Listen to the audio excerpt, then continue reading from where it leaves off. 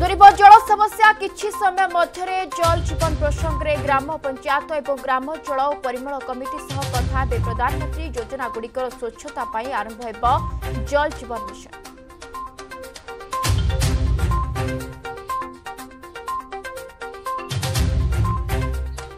ଆଜି ଜାତିର ଜନକ ମହାତ୍ମା ଗାନ୍ଧୀ ଓ ପୂର୍ବତନ ପ୍ରଧାନମନ୍ତ୍ରୀ ଲାଲ ବାହାଦୁର ଶାସ୍ତ୍ରୀଙ୍କ ଜନ୍ମବାର୍ଷିକ ରାଷ୍ଟ୍ରପତିଙ୍କ ସମେତ ବହୁ ବରିଷ୍ଠ ନେତାଙ୍କ ଶ୍ରଦ୍ଧାଞ୍ଜଳି ଜ୍ଞାପନ ଗାନ୍ଧିଜୀଙ୍କ ସମାଧିସ୍ଥଳ ରାଜଘାଟ ଓ ଶାସ୍ତ୍ରୀଜୀଙ୍କ ସମାଧିସ୍ଥଳ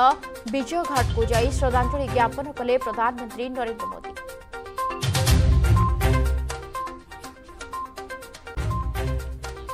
ମହାତ୍ମା ଗାନ୍ଧୀଙ୍କୁ ଶ୍ରଦ୍ଧାଞ୍ଜଳି ଜ୍ଞାପନ କଲେ କେନ୍ଦ୍ରମନ୍ତ୍ରୀ ଧର୍ମେନ୍ଦ୍ର ପ୍ରଧାନ କିଶୋରନଗର ବ୍ଲକ ବାମୁର ଗାନ୍ଧୀ ସ୍ମୃତି ପୀଠରେ ଗାନ୍ଧିଜୀଙ୍କ ପ୍ରତିମୂର୍ତ୍ତିରେ ପୁଷ୍ପମାଲ୍ୟ ଅର୍ପଣ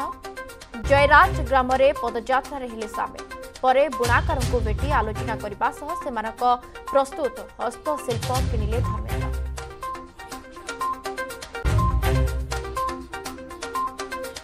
ଗାନ୍ଧୀଙ୍କ ଓଡ଼ିଶା ଆଗମନକୁ ପୂରିଛି ଶହେ ବର୍ଷ ବିଭିନ୍ନ ସ୍ଥାନରେ ସ୍ୱତନ୍ତ୍ର କାର୍ଯ୍ୟକ୍ରମ ବାପୁଜୀଙ୍କ ସ୍କୃତିଚାରଣ ଗାନ୍ଧୀ ପାର୍କରେ ପ୍ରତିମୂର୍ତ୍ତିରେ ମାଲ୍ୟାର୍ପଣ କରି ଶ୍ରଦ୍ଧାଞ୍ଜଳି ଜ୍ଞାପନ କଲେ ବିଜେପି କର୍ମକର୍ତ୍ତା ବାପୁଜୀ ନଗର ଗାନ୍ଧୀ ପ୍ରତିମୂର୍ତ୍ତିରେ ମାଲ୍ୟାର୍ପଣ କଲେ କଂଗ୍ରେସ ନେତା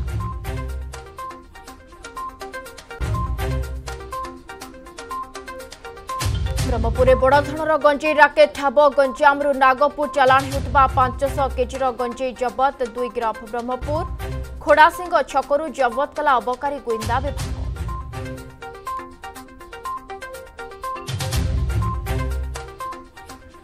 ସୁନ୍ଦରଗଡ଼ ରସରାଜପୁର ନିକଟ ହାଇୱେରେ ଏଲ୍ପିଜି ବୋଝେଇ ଚଳନ୍ତା ଟ୍ରକ୍ରେ ଲାଗିଲା ନିଆଁ ଅଳ୍ପକେ ବର୍ତ୍ତିଲେ ଡ୍ରାଇଭର ଓ ହେଲ୍ପର